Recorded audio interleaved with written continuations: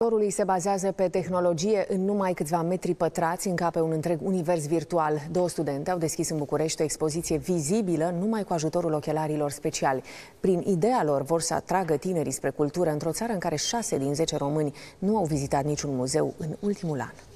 Când vine vorba de realitatea virtuală, singura limită este imaginația.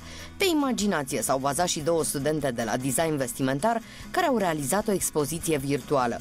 Invizibile cu ochiul liber, obiectele prin viață odată ce îți pui ochelarii speciali. Toate obiectele au câte o poveste, au uh, o semnificație specială pentru cei care le-au propus. Printre obiectele expuse, adunate de la mai mulți tineri, sunt invitații la concerte, bilete de la Castelul Bran sau cismele purtate la festivalul Electric Castle. Într-un cuvânt, amintiri. Noi încercăm să vedem uh, dincolo de obiecte, vrem să vedem și povestea lor. Scanăm eticheta și aici avem informații, cum ar fi poza cu obiectul care era aici, uh, descrierea care ne-a fost trimisă. Muzeul este interactiv. Dintr-un click, vizitatorii pot schimba culoarea pereților. Poți alege și mai multe camere, îți poți aranja cum dorești, mm, pereții, tablourile, îți poți expune oricum vrei. Mai văzut undeva așa ceva?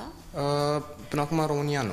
E modul în care cele două studente încearcă să readucă dragostea pentru muzee în viața generației Z. Generația Z sunt uh, practic tinerii născuți între 95 și 2010.